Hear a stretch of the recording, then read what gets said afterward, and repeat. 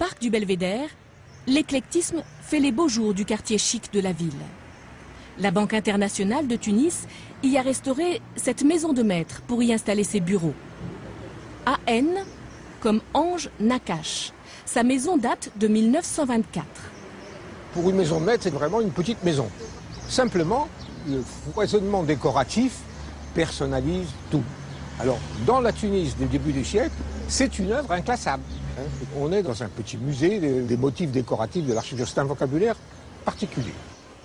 Dès le vestibule, le blanc et l'or donnent le ton. Alors, on quitte le vestibule et là, on arrive euh, sur cet escalier incroyable, fait de pièces de marbre qui sortent du mur, hein, en porte-à-faux, avec euh, une rampe en fer forgé exceptionnelle, par la finesse. On est accueilli de façon extraordinaire. L'envolée est vertigineuse. Les marches tiennent comme par magie. La rampe a des allures de glycine ou de vigne grimpante. Un hommage sans équivoque à l'art nouveau. À l'étage, nous arrivons dans les appartements privés d'Ange et Fortuné Nakache. Dans les années 20, ils arrangent leur maison à leur fantaisie. La salle à manger est romantique, même si l'art nouveau n'est pas absent. Le salon est aujourd'hui une antichambre pour les clients de la banque. Chaque pièce a gardé son aspect d'origine. Alors voilà. Oh, ça m'a ici, Mohamed. On peut rentrer? Le directeur de la banque occupe en effet aujourd'hui l'ancienne chambre à coucher des Nakash. Mohamed, bonjour. Mohamed Feki travaille dans ce qui fut le boudoir de madame. Alors, le lit était dans ce renfoncement ici. Voilà. hein.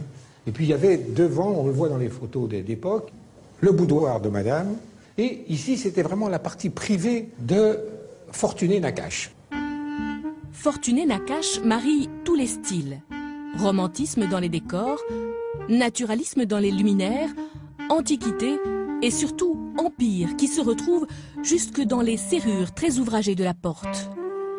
Il faut dire que les Nakache partagent avec Napoléon la même initiale.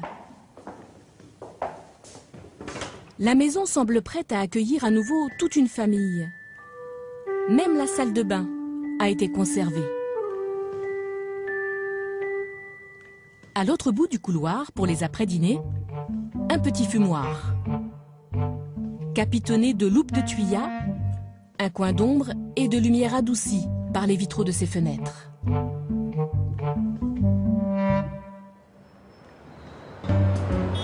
Très connus ou oubliés, les immeubles de Tunis racontent l'architecture du début du XXe siècle.